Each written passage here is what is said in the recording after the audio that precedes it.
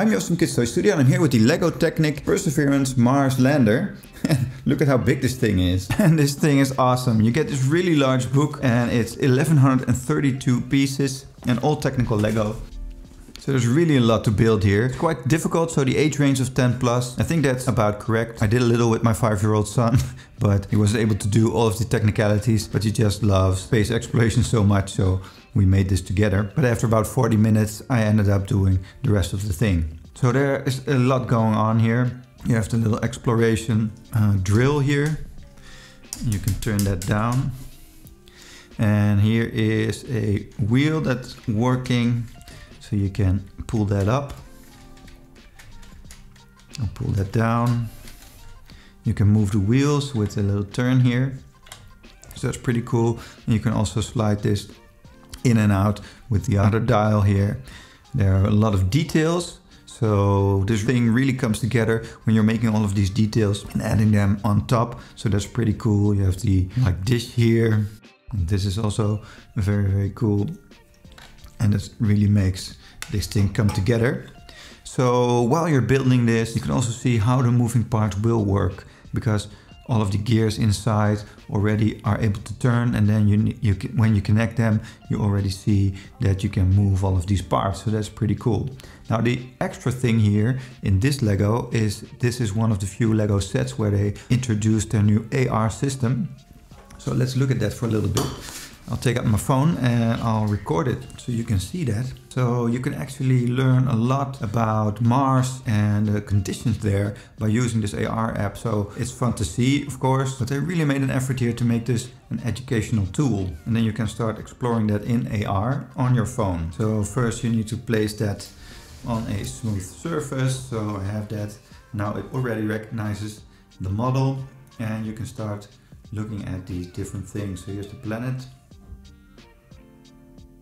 you can look at the MOXIE conditions. MOXIE is Mars Oxygen In Situ Resource Utilization Experiment and it produces oxygen from the Martian atmosphere. So it's already ed educational here and you can see what this MOXIE here really is.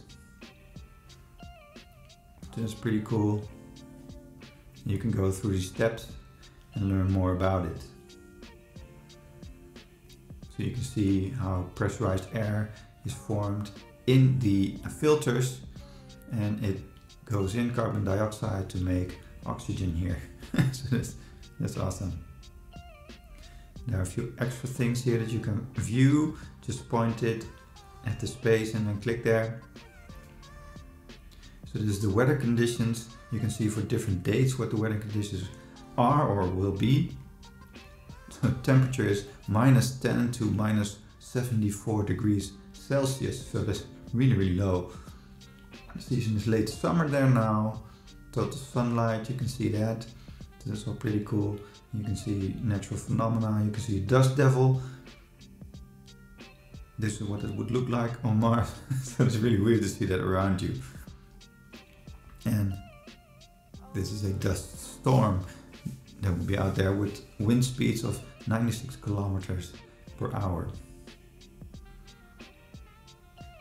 That's pretty cool. You can also see some things about the uh, engineering.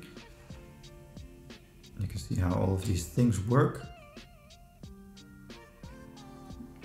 That's where the engine would be.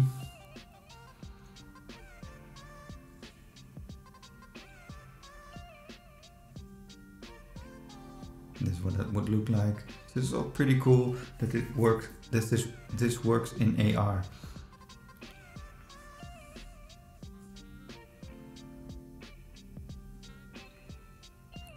And you can see something about the map exploration. This is where you can do uh, some missions with it as well. So I think that's fun for 10 year olds or maybe a little younger to start doing. You can take a sample of a rock, for example. So there are rocks here now all around me.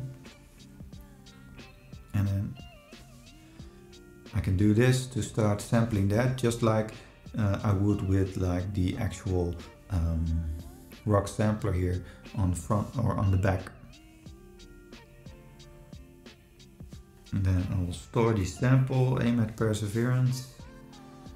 And that's how the sample is put in.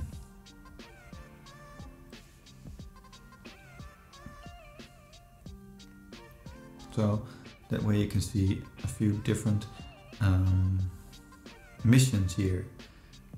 It's kind of the river delta.